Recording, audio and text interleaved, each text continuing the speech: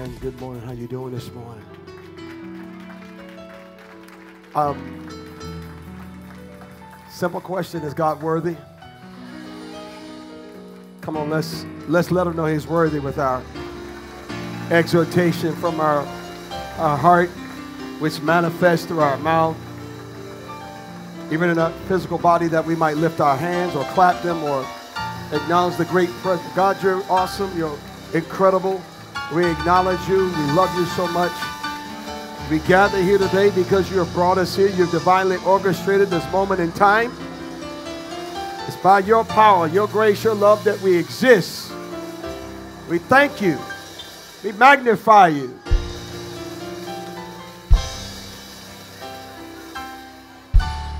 Anybody want to praise God this morning? Just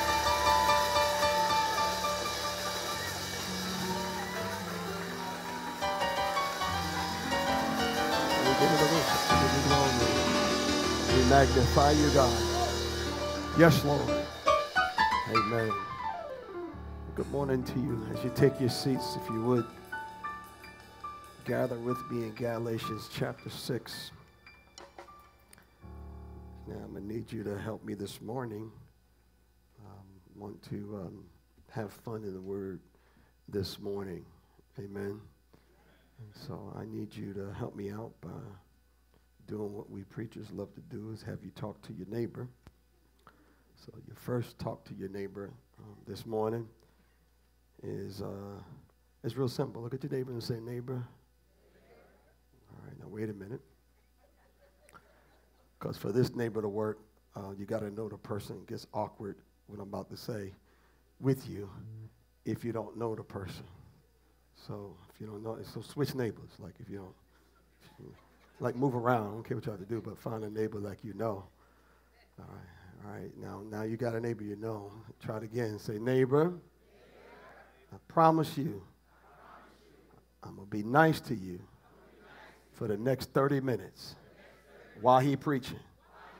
I make no promise that it will continue after he finish.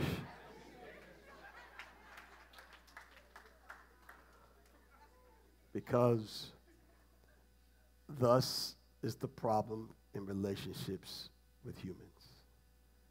We miss moments, man.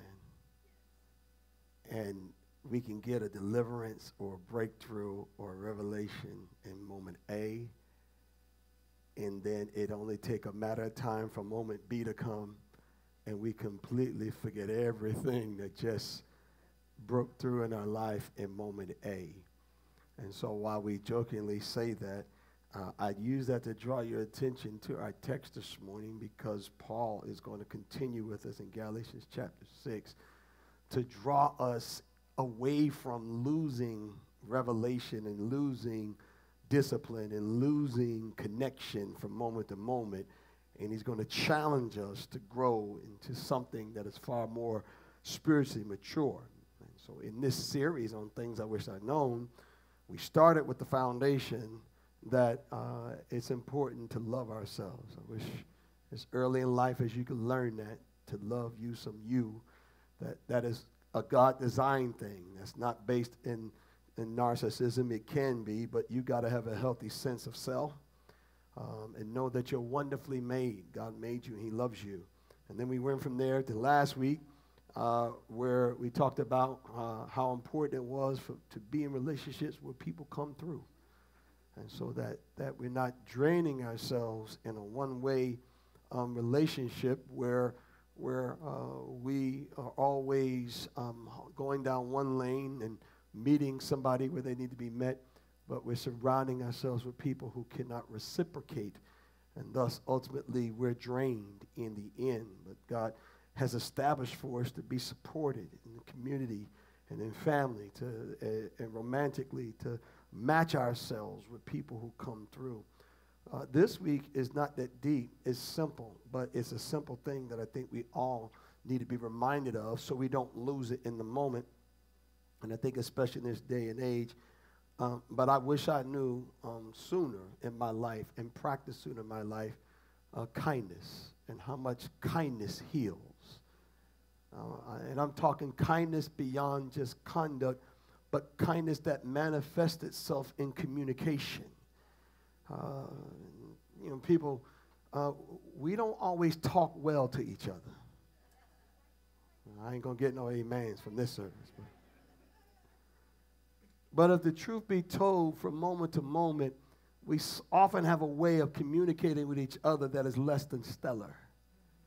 And uh, it is only in when somebody appeases me or pleases me that my communication is reciprocal as long as I'm being pleased. But in a moment of my displeasure, all communication anointing falls apart.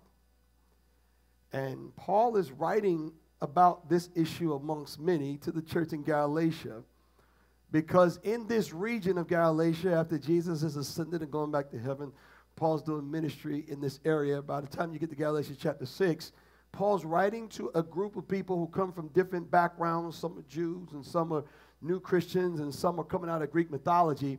And basically, they're having relationship problems. They can't get along because of theological differences and uh, cultural differences. And the church in these regions, in this particular region, has relational struggle. They, they don't know how to talk to each other in the public square, they don't know how to deal with each other. And, and Paul is concerned as an apostle that something's happening um, at the root that he wants to expose. And, and so I promise you, I promise you, if you stay with me for 30 minutes, uh, we will walk in the same exposure. But what I want to encourage you to do is after those 30 minutes are over, that you adapt the revelation so that whatever healing begins here will continue when you get home. Amen? So, verse 7 in Galatians chapter 6 NIV, Paul says, Do not be deceived. God cannot be mocked. A man reaps what he sows. Whoever sows to please their flesh, from the flesh will reap destruction. And whoever sows to please the Spirit, from the Spirit will reap eternal life. So let us not become weary in doing good, for at the proper time we will reap a harvest if we do not give up. We will reap. We will reap. We will reap at a proper time. It's interesting that Paul in this text, he, he, he kind of contrasts two things that I want you to see real quickly. He contrasts flesh uh, and spirit. And so this conversation is about maturity, spirit, and immaturity. Flesh. Flesh and spirit. But the word Paul uses to contrast them is the word pleasing. So it's the idea, Paul says, um, whatever you please, there will be a result, an outcome from that. So when you look at the text of uh, you, where you, you will reap what you sow, and Paul says a man reaps what he sows. Reaping is the outcome, but watch this sowing is the behavior. And so Paul then connects this and says, if your behavior of sowing is targeted towards pleasing the flesh, then you will get the results of pleasing the flesh. You will have relationships that manifest in arguments. You'll have relationships that manifest in anxiety. You'll have relationships that manifest, and Paul says these things are destructive. You'll have destructive patterns of communication, destructive patterns of conduct. Why? Because you're reaping what you've sown. What have you sown? You sow that which pleases the flesh. It's no different than, than, than saying it this way. You will always put into that which you are trying to please or that person you are trying to please. If you're trying to please your mother and you're trying to please your father, what will you do? You will do things that make them happy. You will do things that make them please. You'll do things that make them say they're proud of you. Likewise, here's what Paul's arguing. Some of us are treating the flesh like a parent whereas we're doing things to get a pat on the back from our flesh, that we appease our flesh. And our flesh, what is that? I'm not talking about your skin, I'm not talking about your tone, I'm talking about your inner man. In other words, some of us think that our altitude is controlled by external circumstances. But I'm here to tell you this morning that your altitude is controlled by something internal. And the internal thing that controls your external altitude is your attitude. And your attitude is based upon where you target. If you please the flesh, you will get the results of the flesh. If you please the flesh, you will have destructive relationships. If the truth be told this morning, each one of us might have piles of people that we could put in the destructive relationship pile. Look at your neighbor this morning and say, Neighbor, how many do you have?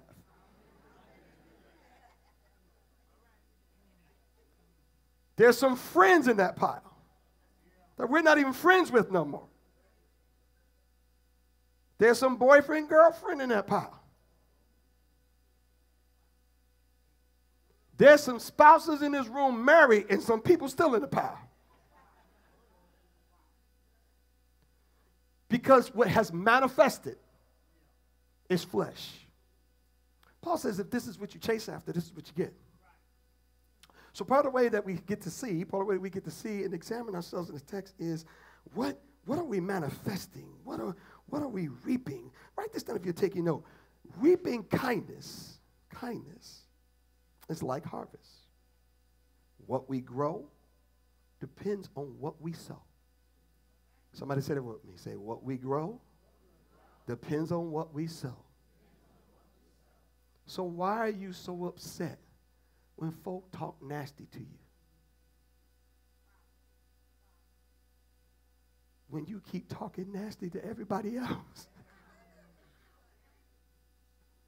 See, we want the outcome. We always focus on outcomes. I want the outcome. Tell me how to make 20% of my investment. Tell me how to do this. We always want outcomes. We rarely want to focus on behavior that causes the outcome. So think about this. Think about let, let, me let's let's get some deliverance this morning. Let's just jump right in. Let's just jump right into deliverance. I want you to be honest with me this morning. All right? Y'all ready to be honest? Okay. All right. Y'all ready to be honest? Okay. Raise your hand. Raise your hand if you have been accused of by anybody that love you of being nasty with your attitude, talking down to folk, being mean to folk, being grumpy, fussing, scream. I'm, I'm going to I get all these hands up because some of y'all just lying, just y'all just be lying on a Sunday morning. Okay, now watch this. And when you were accused of that, how did that help your relationships? What did you reap? What did you reap? You, you reap the repercussions of the lack of that kind communication. I don't want this to get too far, so I'm, I'm leaving the conversation because God says, watch this. God says, Paul says, Paul says, um, God says to Paul in this text, um, God cannot be mocked. What does that mean? God cannot be mocked. In other words, Paul's saying this is such a divine principle. See, most of us get this confused because we've only heard the prosperity preachers use it from 2 Corinthians chapter 9. And in 2 Corinthians chapter 9, Paul is speaking to that church, of that church about the faith of giving and supporting his ministry when he comes uh, to Macedonia to preach in that region, um, to be able to carry the expenses of that ministry coming there. And he's done it for free too long, and he needs them to step up their support. And so we hear that. You reap what you sow. So, man, reap. You sow sparingly because you, you reap sparingly because you sow sparingly. So give me some more money, right? So we get that, right? Uh, but that, that's only one uh, application of the text the application of the same principle that is divine is right here in Galatians chapter 6, and it's completely relational. It has nothing to do with money. It has to do with examining the maturity of our relationships to see what we're walking after. Look at your neighbor again, the third time. Say, neighbor, you get to decide right now who do you walk after? Spirit, flesh. Which answer did they give you? Somebody said it depends on when you catch me. Right now, I would, I would say spirit. But Bible says God can't be mocked, which means we can't cheat him. You would do whatever you need to do to satisfy the old nature of the flesh. The old nature of the flesh is combative. The old nature, nature of the flesh is argumentative. The old nature of the flesh is petty. It's condescending. It's irritable. It's mean. It's grumpy. It's all of us. But there is this revelation on the other side that either you can have destruction or you can have life. And what life looks like in the spirit is um, a repositioning or recalibration of our internal workings so that we can do what the spirit calls us to do. I'm going to prove to you, I'm going to prove to you, the Spirit of the Lord has been trying to mature you in these conversations so that you have more romance and, and, and, and, and intimacy and friendship and camaraderie. And the reason I can help you get this revelation is because I've been in the same moment with you. And the same test that the Lord has given me, I'm going to give you right now. Y'all ready for another test? Okay, here we go. Here we go. But this requires you to be honest again. You have to be honest with this test. The last time you was fussing with somebody and you said something nasty or mean, did you hear anything in your voice, a voice anywhere afterwards tell you that you said something wrong or you shouldn't have said it that way? Raise your hand. Raise your hand if that's you.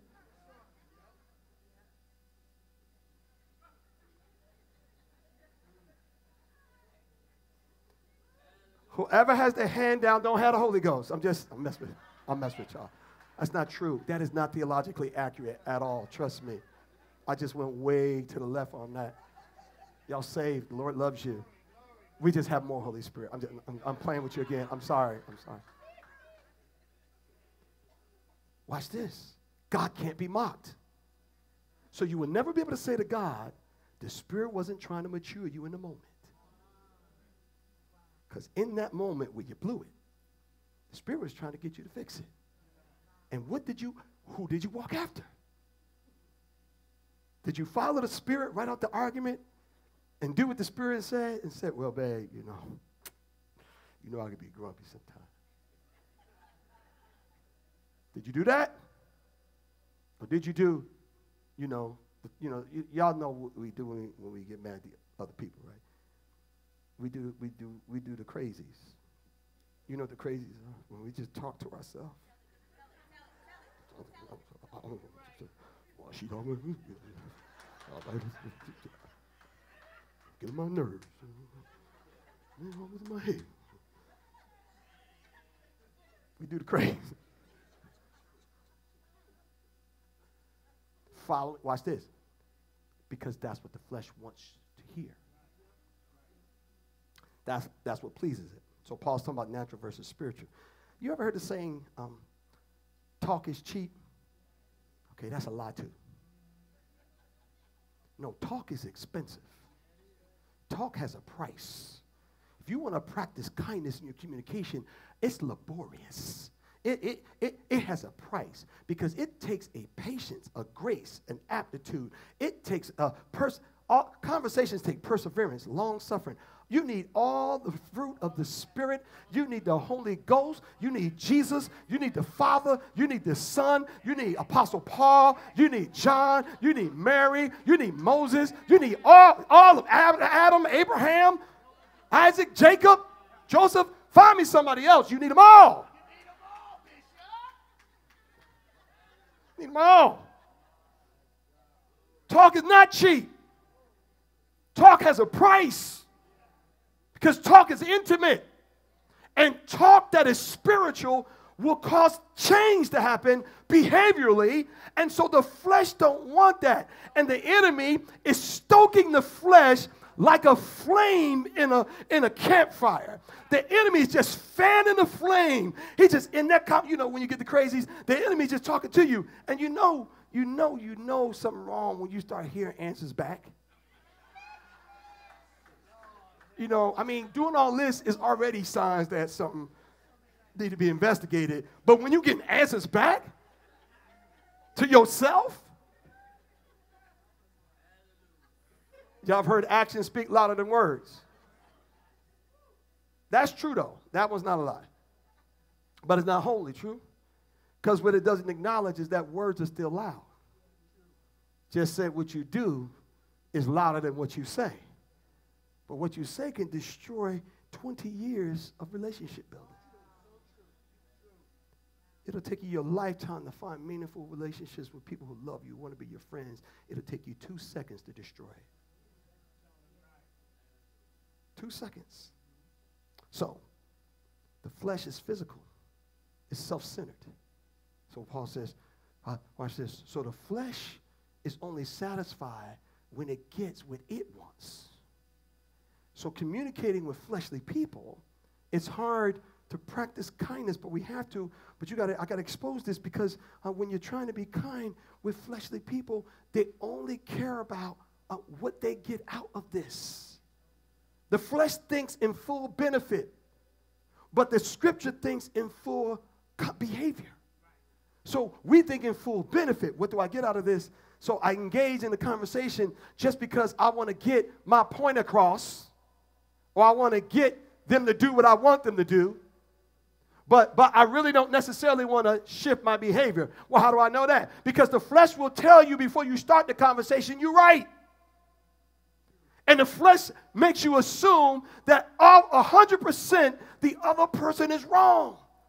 And the flesh gives you a new level of anointing. For you people that don't know what anointing is, it, the anointing comes from God. It is like power. The Bible says the anointing, speaking of like oil, destroys yokes. Yokes being like ropes around animals' necks. The anointing is like a power from God. And some of us get a brand new power from God. It's the power of superlatives.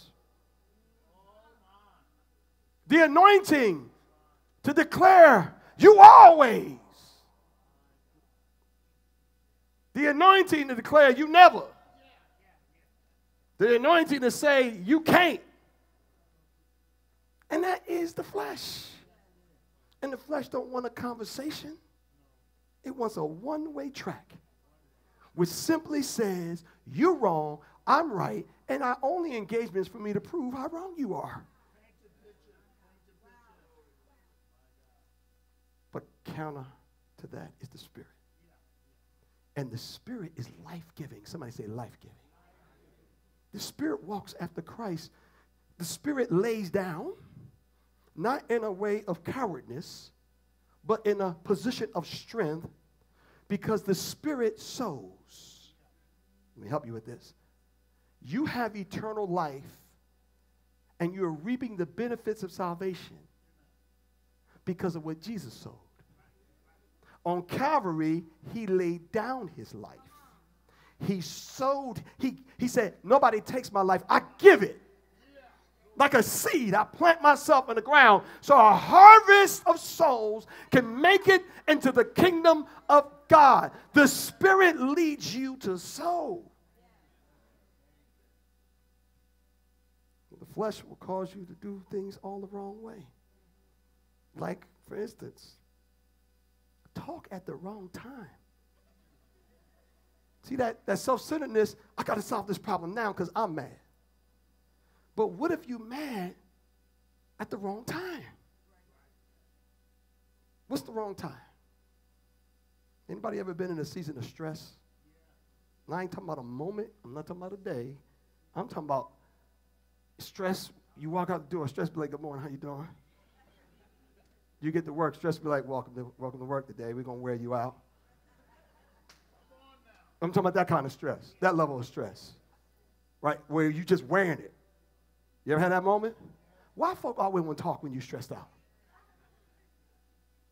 People, that's not a good time to talk. That's a good time to practice kindness in communication, to offer grace in communication, but to get off philosophically deep about how we're going to fix our relationship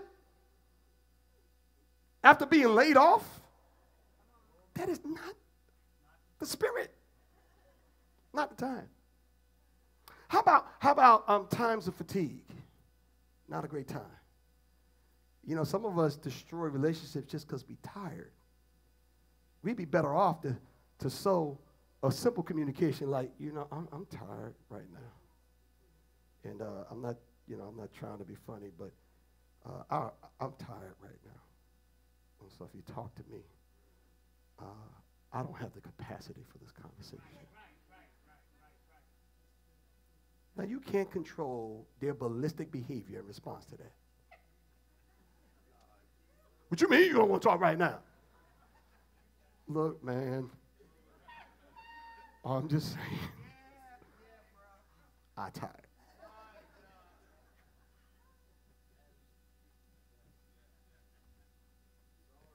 What about periods of high activity? Wrong time. Wrong time. I don't know why you women want to wait to two minutes left in the fourth quarter to start rebuilding our love and work on what we was talking about two days ago. And because I'm stupid and a dude, I forgot all about it. Because all I can focus on right now is my team has the ball. We need 17 yards and we're down by 10. My whole house could be burning up and I wouldn't know it.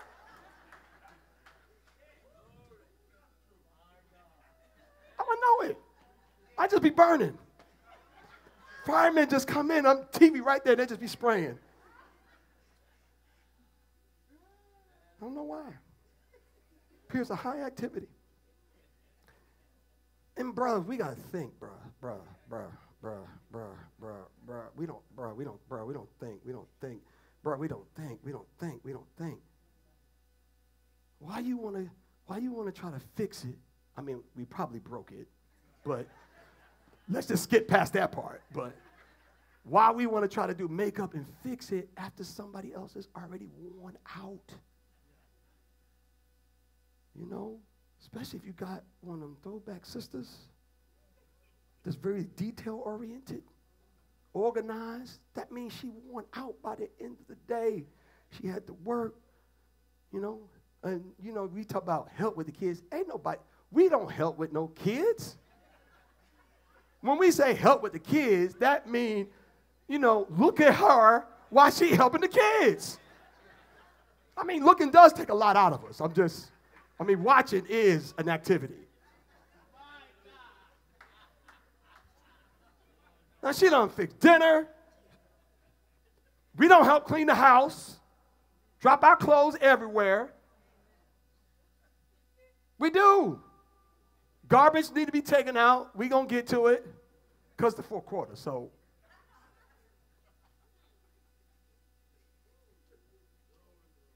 she tired, and then we go, babe, man, she don't have time.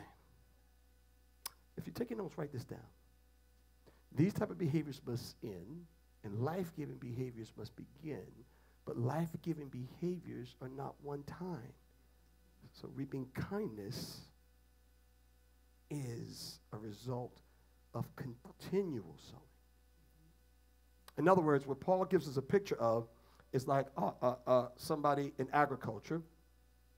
It's not the idea of one seed in one moment. That is, that is still, see, in other words, if you don't sow continually, you're still in the flesh. The maturity of the Spirit is life giving, like Jesus. In other words, ask yourself a simple question How many times do you think Jesus would die for us if he had to keep on dying? He'd keep on dying. He wouldn't die one time. So, likewise, when you're operating in your relationships with family, friends, and your, your romantic interests, it's the idea of, of pleasing the Spirit, Paul says. This pleasing the Spirit results and manifests in uh, making us holy and redeems our relationships. In other words, we reap ever eternal life. That's another way of saying everything you want out of this relationship. You don't have to fight with each other there in Galatia.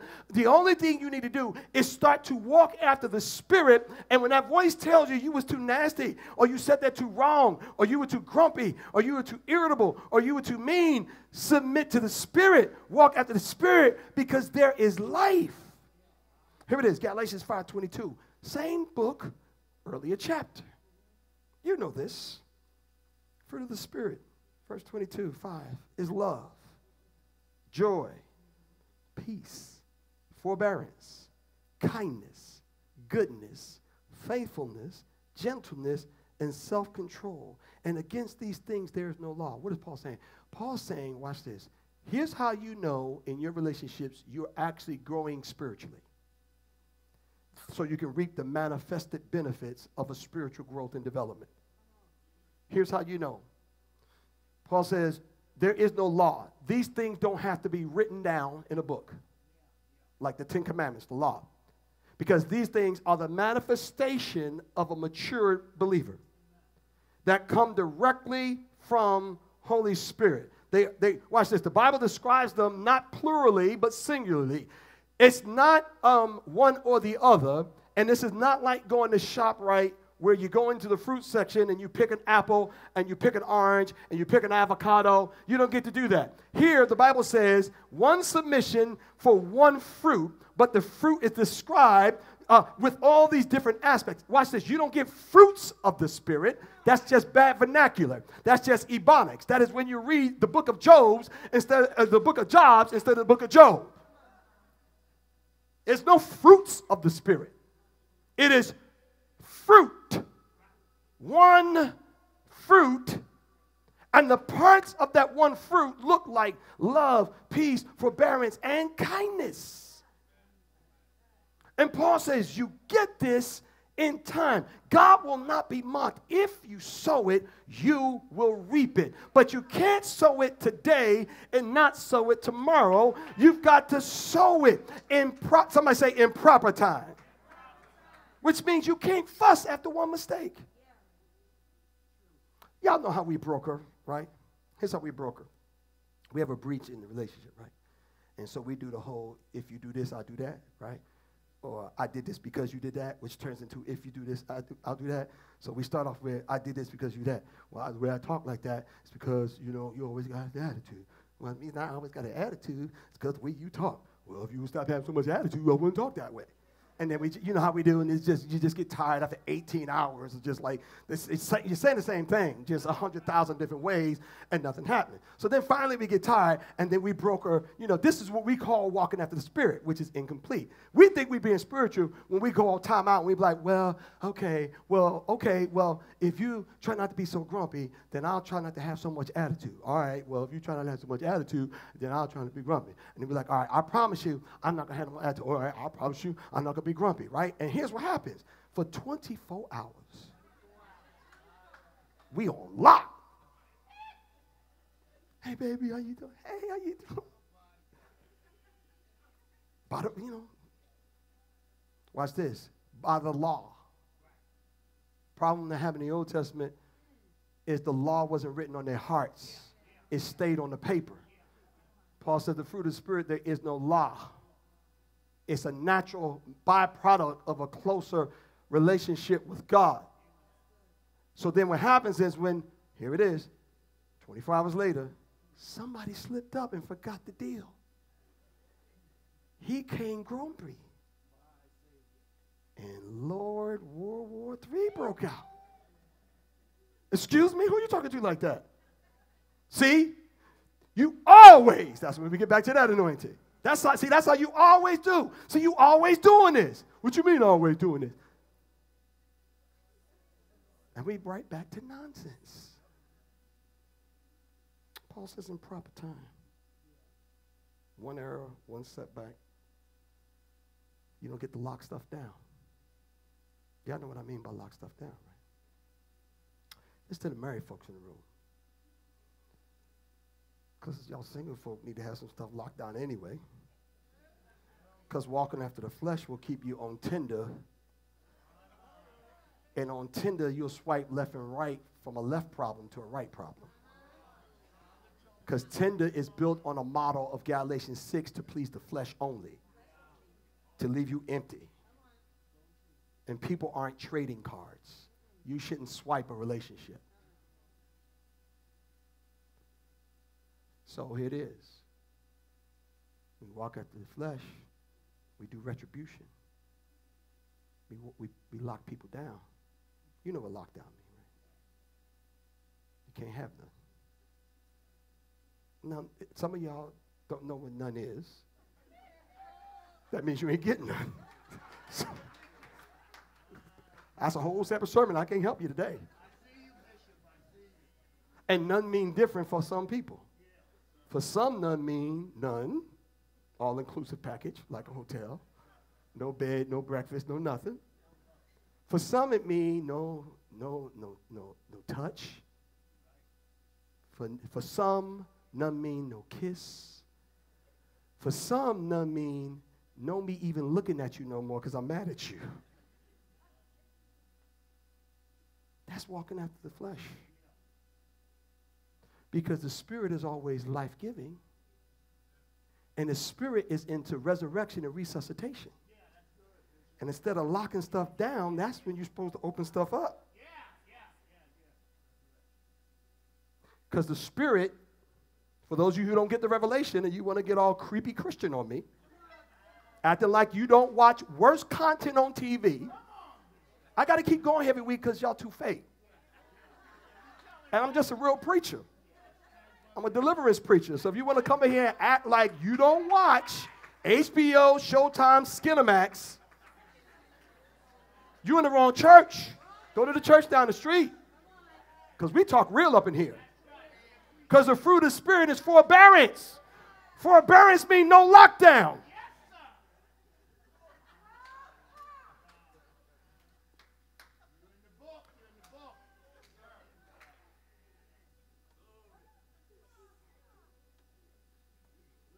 Even you guys dating, y'all locked down different ways. We all locked down. We don't talk to each other. And so now we're gonna we're gonna abuse each other. Instead of being kind to each other, we look for ways to pay you back. I'm not talking to you no more. The word kindness there in Galatians 5, I, we got to go, but I want to unpack this real quick for you. The word kindness in the Greek is an interesting construct because it's a word Paul uses that is also um, a title. So it's a title. And the translation of that word kindness uh, is your grace.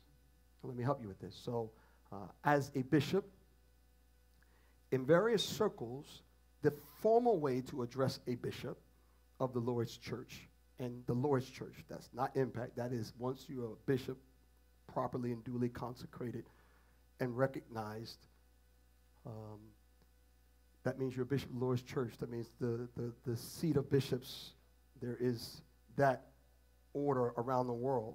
So a Catholic bishop, bishop of the Episcopalian church, bishop in the Pentecostal, all, all bishops of the Lord's church. Different than in the days when Paul and the apostles assigned bishops. And since that day, and to now, in certain political circles, if I meet with dignitaries or meeting with um, other bishops or uh, I'm operating in my capacity as a bishop, the proper address, even in letters and salutations to me, is your grace. It's your grace. You know, and some of you are like, your grace, who do you think he is? I think I is a bishop.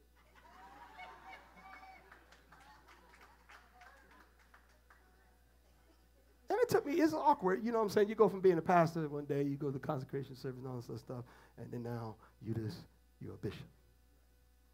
And in certain countries, when I go to like um, Africa or the Middle East, or you go out to Asia, people have a higher reverence for the bishopric and the episcopacy than they do here in the West. And so, you know, it's, you know, it's your grace. It's your grace. It's your grace.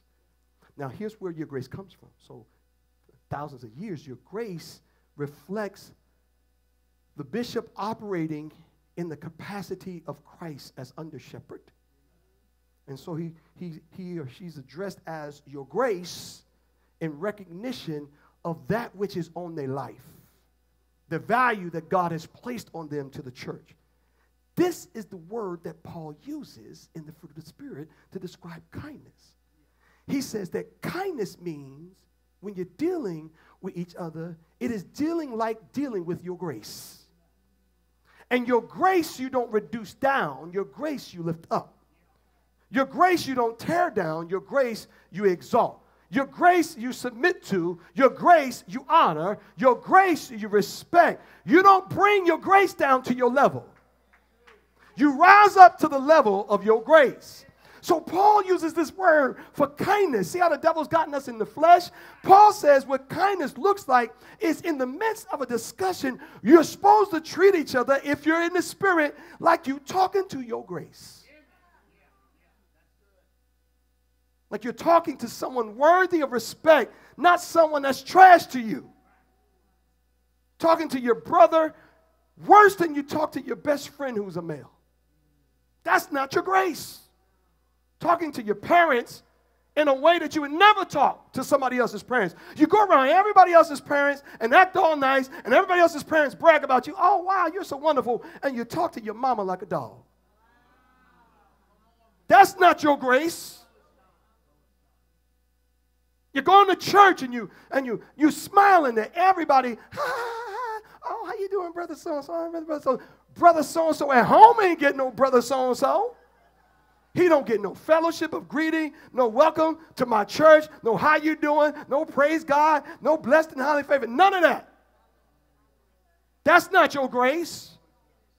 And you don't treat your wife at home, and you don't treat your girlfriend in the conversation like you treat them sisters in church. You want to walk all up in church and act like you the man. Hey, how you doing? Praise God. All right, opening doors and uh, all that kind of stuff.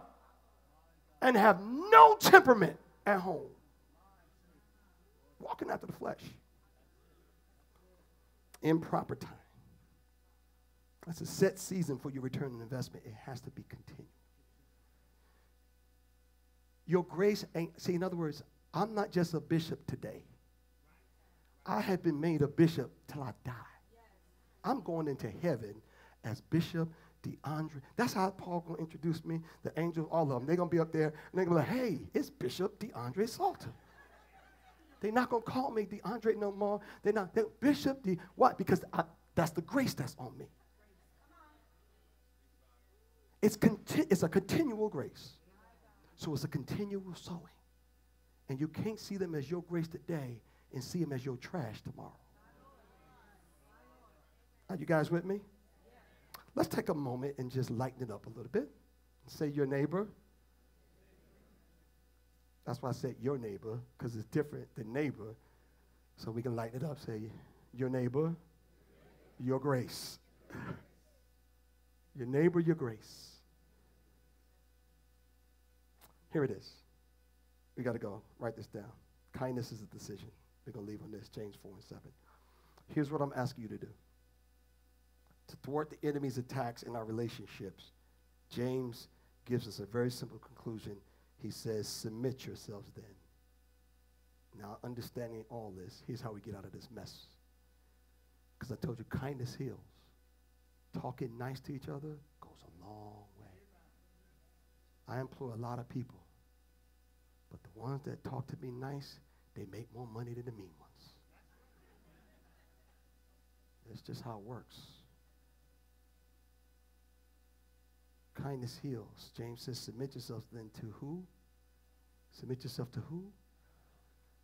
You don't need a referee other than him. I understand you want to sign up for counseling. Counseling is pointless for you if, you if you're going to stay in a fleshly immaturity. My time, my time is going to be wasted with you. Because all I'm going to try to do is get you to submit to God in the first place. So we can skip all that and just submit to God right now. Because it's only in submitting to Him that you can see your grace on them. Are you following me? He says, then resist the devil. How many of you know the devil's trying to? The devil has been trying to destroy relationships since humans were first created. God says that you need to have fulfilling human relationships, camaraderie, romance, intimacy, all those things. He said that of himself. Because in Genesis, he created Adam, and Adam was walking around there alone, and God said, It's not good for this brother to be alone. So, relationship is God ordained. Genesis chapter 1, everything cool. Genesis chapter 2, everything cool in the Genesis chapter 2, here's how it ends. The brother gonna leave his mother and father's house and he gonna cleave. Cleave mean ride or die. Cleave mean come through. Cleave mean in there to win it. Cleave mean I don't even mention the word divorce because it's not even the option because I cleave. Cleave mean I'm here with you. I'm going through with you. Good, bad, sickness, health. Cleave mean me and you versus the world. Cleave mean just one entity. Cleave mean no longer two of us. Cleave mean we got one vision. We got one life. We got one love. Cleave me us against everybody. Us. Cleave means that. But the first verse of chapter 3, and then there was the most subtle beast in the garden. The devil didn't show up in chapter 1 when it was Adam. Devil didn't show up in chapter 2 when it was Adam and God. He only showed up when another human showed up. Which means he's against every form of human relational happiness that you could ever have. Resist him. He wants you in the flesh and destructive relationships. He wants you to be destroyed and you to be the destroyer. But today, God says, walk after the Spirit. There is life. There's, there's, there's a brand new healing. And He won't flee. He won't let your relationships go until you flee from him. Some of you, I feel this in the name of Jesus. Some of you, even in your family relationships, even as you apply it in that context, some of you need to flee some old alts. Resist the devil taking you back to when you was 10 years old and what they said and see the your grace on them and what God has is, is calling them to do and calling them to be, and find healing in that kindness to offer the olive branch and begin to speak to them and sow the seeds. I guarantee you, they know what they said and did. And kill them with that kindness. Kill them with the Spirit of God. They know it takes more than just you because they know you and you fought them last time. It's time to get healed and delivered. So in the moment, we don't lose it. In that moment of argument. Y'all ready for one more level of deliverance? Here we go. Because in that moment, you'll say something that you'll regret. You'll, you'll cuss folk out. Who, raise your hand if you're one of my cussing saints. Come on, just raise your hand. Come on. Come on, raise your hand. We're getting healed today. Come on now. You bring them on up now. Come on now. Come on. It's safe. It's safe. Come on, my cousin saints. It's, it's safe. All right. All my cousin saints, look around you. You're sitting around all my lion saints. Y'all the cusses, they the liars. I heard, I see people with their hand. I heard some of them cuss. I'm just telling you. I'm messing with y'all. I haven't heard nobody cuss. I, I'm just, I'm just messing with y'all. I, I haven't heard nobody cuss. Uh, raise your hand if you heard your neighbor cuss. I'm messing with you.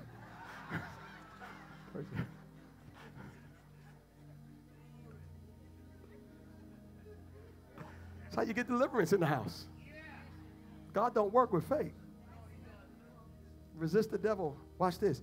He just left. That was a powerful moment. Don't miss that.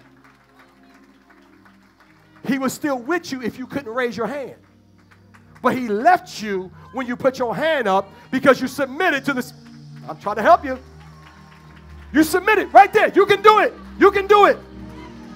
Come on, stand to your feet. Let's pray our way out of this. Come on. Name of Jesus, Father, we just give you praise. We give you glory. We give you glory. We magnify you right now. You're incredible, God. Just lift your hands to the Lord. There's some relationship healing right now in the name of Jesus. Father, we just receive you right now. We ask you right now, would you just heal us from the inside out? We pray that we live in the fullness of Galatians chapter 5 and 6. We pray, Father, that you will cause us to see the grace on those that we're in relationship with, and that we would submit to you and resist the devil. We are so tired of his attack on us the strength that we're missing by being alone. We don't want that. We want to be full. We want to be strong, which means we need people. We need love. We need generosity. We need charity. We need hope. So we're praying right now. Would you heal brothers and sisters? Would you just go right now into the past and just remove the pain of poor conversational poor conversations and just go into the past of marriages and just begin to work from the inside out. We pray right now with our hands uplifted that there will be freedom, that you would give us the ability to talk better to one another. We pray that even amongst our friends, even in, even in this incredible month reflecting on history, that we learn to talk to our people better, that we speak life would you remove from our vocabulary, you can't, you never, you always, you ain't? And would you supplant that with I see, you can, I believe, I'm with you. Father, we just pray in the name of Jesus that you will never be mocked and that the manifestation of this is that we will reap what we've sown. And you're going to send kind folks to us. Folks that see the grace on our life. You're going to take away the ones that the enemy is fooling to distract us and release to us, God, those dream builders and those, those ones that speak life. And we receive them now. Make room for them now. In Jesus' name, we praise you. Come on, give God some glory. Hallelujah. God bless you.